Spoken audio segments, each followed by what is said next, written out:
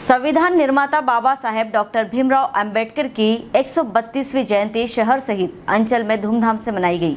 बाबा साहेब के अनुयायियों ने अलग अलग कार्यक्रम आयोजित कर डॉक्टर भीमराव अंबेडकर की प्रतिमा स्थलों पर पहुंचकर माल्यार्पण करते हुए श्रद्धा सुमन अर्पित किए। उनके आदर्शों पर चलने का संकल्प लिया। शहर में अजाक्स, बामसेफ, भीम आर्मी, जयस, आकाश, नाजी और अनुसूचित जाति, जनजाति सहित समस्त सामाजिक संगठनों के संयुक्त तत्वावधान में भव्य शोभा यात्रा निकाली गई। शोभा यात्रा में ढोल और मांदल के थाप और लोक गीतों के बीच जय भीम के नारों के बीच युवा जमकर थिरके शोभा यात्रा के दौरान डॉक्टर भीमराव अंबेडकर की झांकियाँ बरबस ही लोगों को अपनी ओर आकर्षित कर रही थी। शोभा यात्रा नगर के किला मैदान से प्रारंभ होकर साराफा बाज़ार, पोस्ट ऑफ़िस, चौराहा टीआईटी कॉम्प्लेक्स सहित प्रमुख मार्गों से होते हुए शाम छह बजे अंबेडकर पार्क सब्ज़ी मंडी पहुँची, जहाँ समापन हुआ। यहाँ बाबा साहेब के संघर्षशील जीवन पर आधारित फ़ोटो युक्त प्रदर्शनी भी लगाई गई थी। विभिन्न स्थानों पर लगे स्टॉलों पर रवि जोशी मित्र मंडल सहित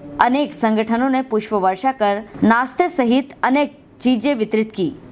Bureau report Khargone.